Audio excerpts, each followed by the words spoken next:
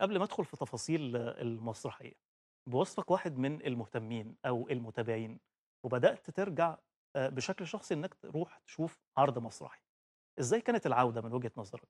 هل كنت متخوّف كواحد من ال المشاهدين أو المتابعين إن أنت تروح لأماكن فيها تجمعات أو إجراءات احترازية ممكن تكون مطبّقة أو لأ؟ إزاي كانت العودة من وجهة نظرك؟ هل هي آمنة والّا غير آمنة؟ في البداية لابد إن إحنا نشكر البيت الفني للمسرح بصراحة.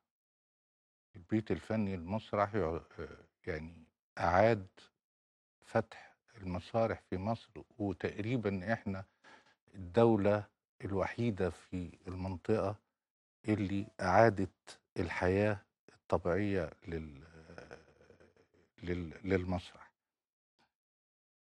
أنا ما كنتش متخوّف، أنا كنت واثق من الكلام اللي اللي اتقال من ناحية الإجراء الاحترازي، وبالفعل.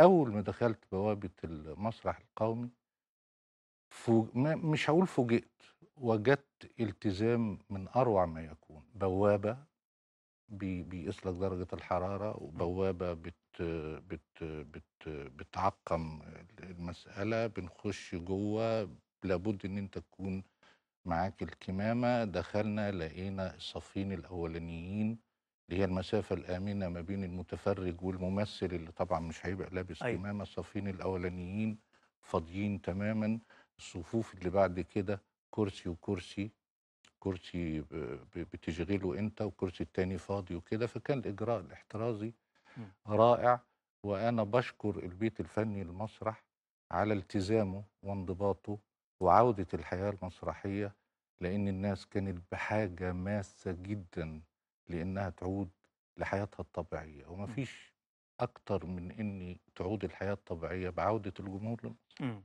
طبعًا المسرح القومي ده طبعًا ليه جلالة وليه مهابة تمام، وليه وضعه، يعني تمام، كبار النجوم وقفوا على خشبة المسرح القومي، تمام، وإحنا النهارده بنتكلم على مسرحية من الأدب العالمي. آآ طبعًا هي البطولة للنجم سامح حسين وللنجمة سهر الصايغ، وهُم الاتنين الحقيقة ليهم آآ جماهيريتهم وليهم قبولهم، وممثلين ليهم آآ حيثية الحقيقة. إزاي بدأت تقيّم العرض المسرحي؟ تحب تبدأ من من النص والّا تحب تبدأ من الأداء التمثيلي؟ آآ هو لو سمحت ليّا إن إحنا يعني نتكلم عن النص الأول إمم. كنص، كرواية، لإني أنا باعتبر إن الإعداد من الرواية الأصلية للعرض المسرحي. ده شيء مذهل.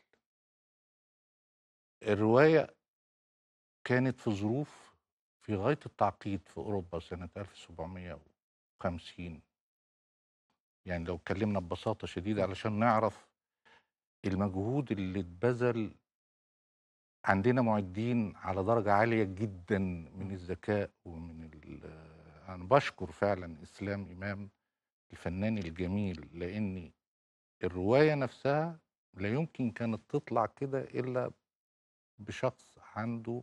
وعي كامل هو بيعمل إيه.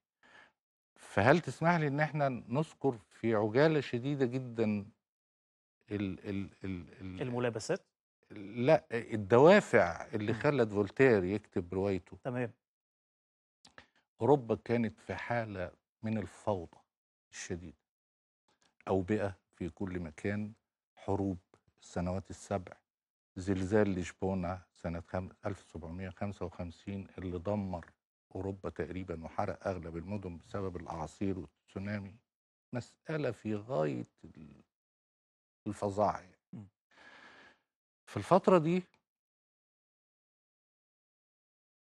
الناس كلها عندها حالة يأس وخوف وغضب وبيموتوا بعشرات الآلاف وجعانين وكده، فكان في فيلسوف ألماني اسمه ويلهلم لايبنز عنده نظرية اسمها نظرية التفاؤل.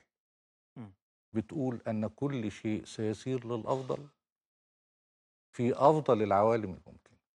وتبنى حكماء أوروبا كلهم هذه النظرية علشان يخففوا من وطأة الغضب ووطأة الجوع ووطأة اليأس عند الأوروبيين. كان من أهم الناس والحكماء.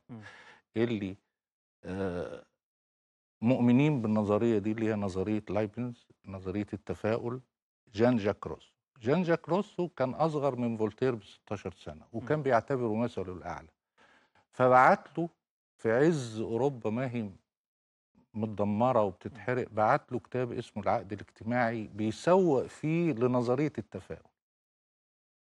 فولتير طبعا حصل له حالة من الغضب الشديد جدا لأنه كان متمرد هو بيقول يا جماعة عالجوا المسألة ديت مش بالتفاؤل عالجوا المسألة دي بالمنطق وبالعقل. فلما جاله الكتاب كان واقعي. كان واقعي بالظبط. آه.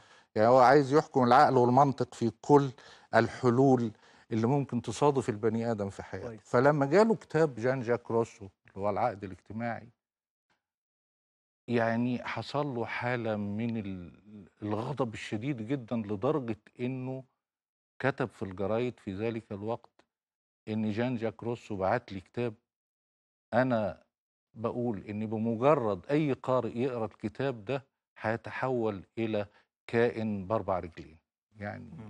يعني أنا- حاجة خارج المنطق بالنسبة لهم في الوقت آه ده. أنا لا بحب روسو ولا بحب كتاباته ولا مؤلفاته الراجل ده راجل مش معانا يعني. فتحول على طول المثل الأعلى عند روسو وحبه الشديد لفولتير إلى عداوة شديدة جدا جدا جدا استمرت لحد ما ماتوا هما الاتنين يمكن من عجائب القدر.